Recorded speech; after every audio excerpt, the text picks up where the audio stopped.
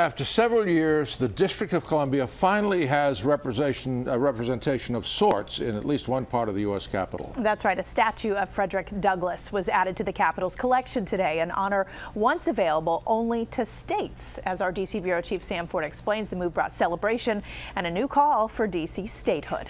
It took a while to get Congress to accept what D.C. considers its state statue in the Capitol of Frederick Douglass, but it happened today in Emancipation Hall.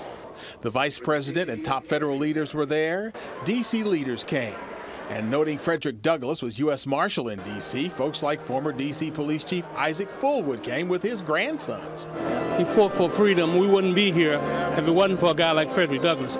He fought for freedom.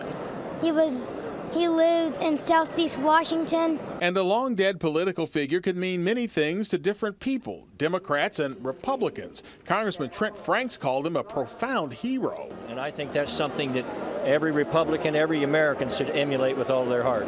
Yet D.C.'s delegate, a Democrat, quoted Douglass on D.C. rights. There was what he called plenty of taxation but no representation. And Senate Majority Leader Harry Reid used the occasion to call for D.C. statehood.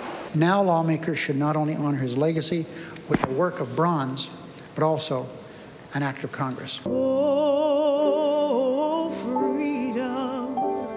it was a ceremony of music, of pride for a great great grandson of Douglass.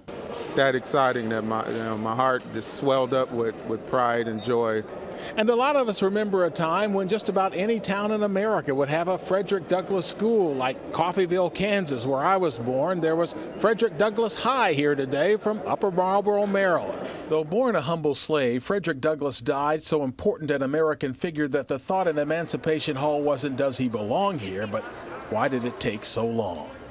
Reporting from the U.S. Capitol, Sam Ford, ABC 7 News.